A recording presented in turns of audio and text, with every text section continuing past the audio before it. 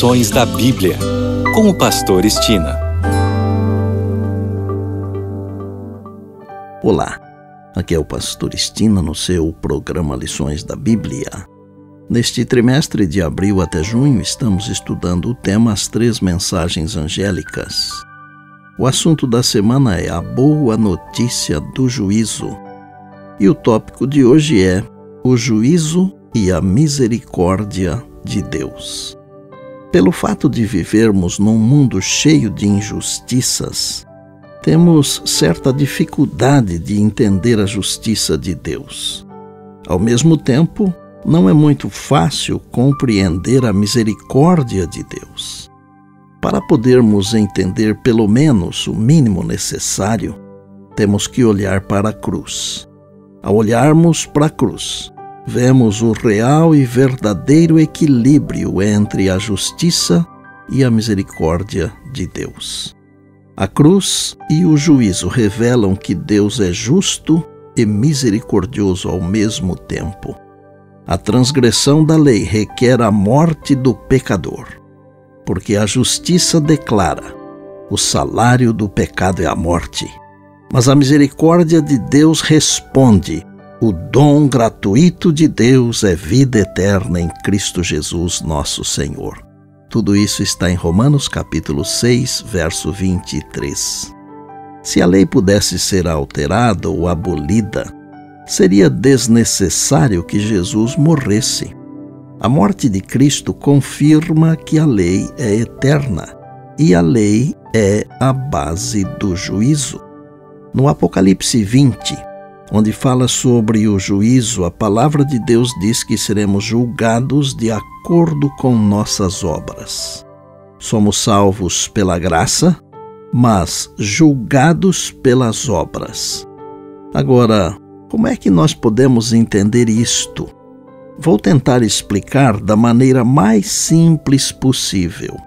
No Sermão da Montanha, Jesus nos ensinou que pelos seus frutos os conhecereis. Está em Mateus capítulo 7, verso 16. E em João capítulo 15, Jesus disse que se permanecermos nele, que é a videira verdadeira, daremos muitos frutos, isto é, boas obras, obras da salvação.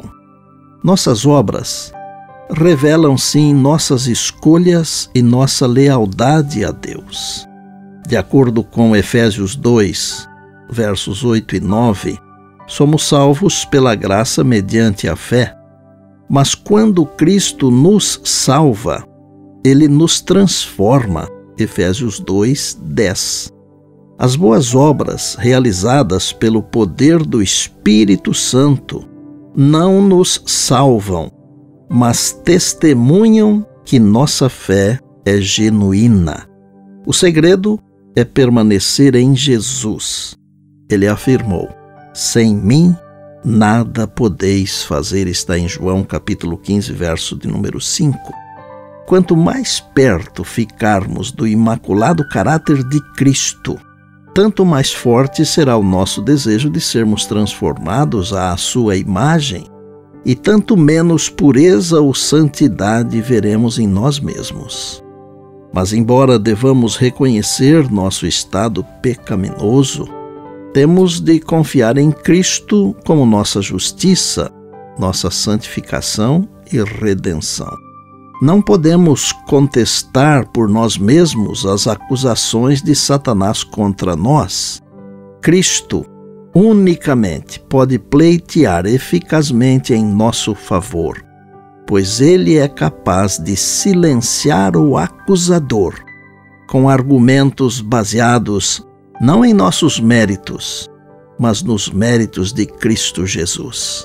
A boa notícia do juízo é que quando os filhos e filhas de Deus são julgados, os méritos de Cristo é que contam e não os nossos.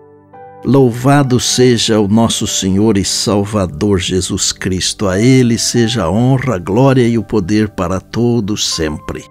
E por bondade, Lembre-se sempre das palavras de Jesus: passará o céu e a terra, porém as minhas palavras não passarão. Eis que venho sem demora. E lembre-se que a voz é nossa, mas a palavra é de Deus.